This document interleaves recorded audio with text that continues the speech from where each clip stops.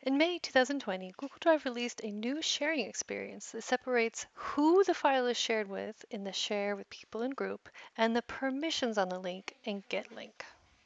Here's how those sections work. To give a person or Google group specific access to a file, under Share with People and Groups, type the person or group, choose their level of access.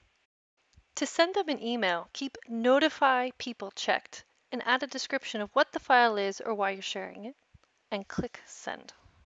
Change a person or group's access by clicking the drop-down to change level of access. Set the commenter or viewer access to expire or completely remove access.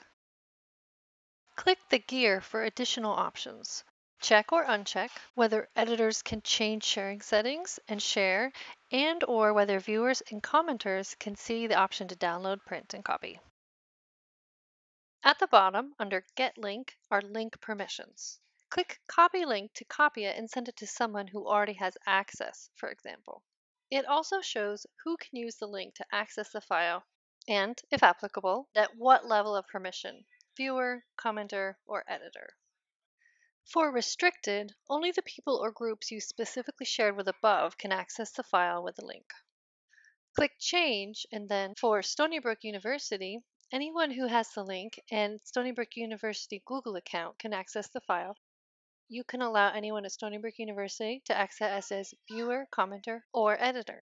For anyone with a link, anyone who has the link can access the file, and similarly, you can allow anyone with a link access as viewers, commenters, or editors. You'll notice as you change permissions here, the link's background changes color to help you see the different sharing levels. When permissions are Stony Brook University, Click the gear to specify whether people in Stony Brook University can search for this file. Only check this box if you really want anyone at Stony Brook to, to be able to not only view but also search for and find your file. As always, the icon in the top right corner of a file shows how files are shared. Mouse over it for more information, and keep your eye out for anything that's shared too much. Here are some more tips. Here's how to find files that might be shared too openly. In Google Drive, click on the drop-down.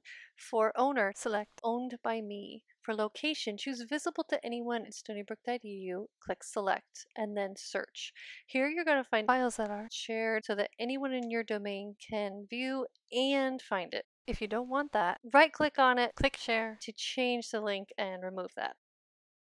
To email people who already have access to the document directly from the file, go to File, Email Collaborators.